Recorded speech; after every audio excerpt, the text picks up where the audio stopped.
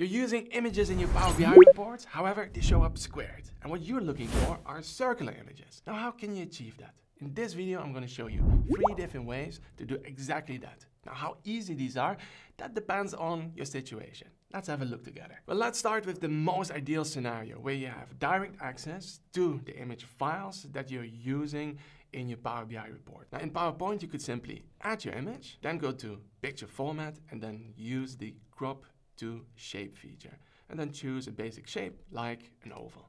And that's it. Now you can right click on the image and save as picture. And then once you have the circular versions of all your images, then of course you need to update the links to these images in your dataset. So in my report, I could go to the new card visual, then formatting options, images, and then here I'm using as image type and image URL. Then click on the FX button, and here I can use that new column with the circular image links. Now, but let's say that you don't have the convenience of having these images, these image files directly on your laptop. Then what can you do?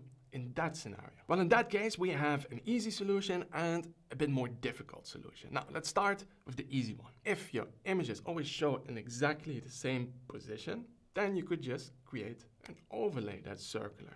So let me show you. I can go over here to insert image. Now here you see I created a mask, which is white on the outside and transparent in the middle. I'm just going to overlap it with the employee images. And you see boom, we have it showing circular. However, this might not always work. For example, if you're using your images in a table, right? As soon as you start scrolling, well, you will see that overlay. So in this scenario where an overlaying mask doesn't really work and you don't have access to the image files or there are just too many and new ones showing up every day, well, what to do then? Now we get to the trickiest option. However, can be very effective. Let me show you. We can actually create a measure that takes the image and makes them circular using SVG. So here you see I have a measure called image circle. Then here the first variable takes the image and then I'm going to use that variable inside of some SVG code. Now the relevant part here is this.